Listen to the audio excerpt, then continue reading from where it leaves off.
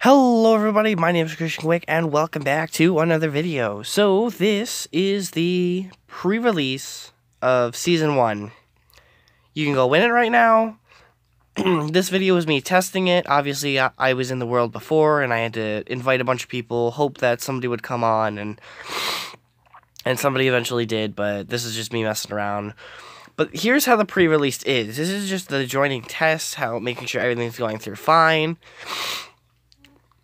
And then when everything goes through in the actual season one, we can actually start the season. But this is the, it, it's a test on it, so it's just to make sure the joining's okay and everything. You can still play in it, but this is how it generally should be for the heroes that are on here. You no one's gonna have effects yet. This is just explore the area, learn your coordinates. Well, without coordinates being on right now might turn them on, might not. Depends if you guys say anything. But for now, this is the seed that we're going to be using. I, it turns out, uh, before in the technical information video, I was like, oh, they must have changed it. No, I just put in the wrong seed the first time, and uh, yeah, that happened. No, that's okay. We have the seed back, so I know you guys uh, have used the seed before, and so you guys could probably find your locations wherever you guys were. But here we are, and this is everything we have. So if you guys can come on here, join, anyone can join.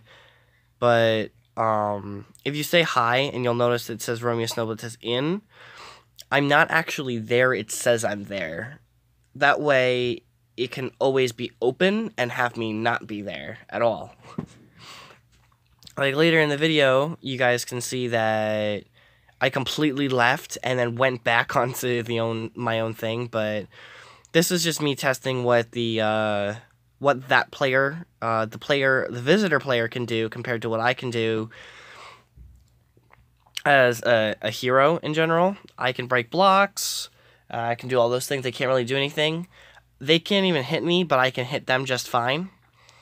And that's pretty much the, how the rules are to go. But for the heroes, once they join, no one's gonna have effects yet. Maybe we'll do that if it lasts long enough. But the pre-release has come uh, has come out for the Java edition, 1.14.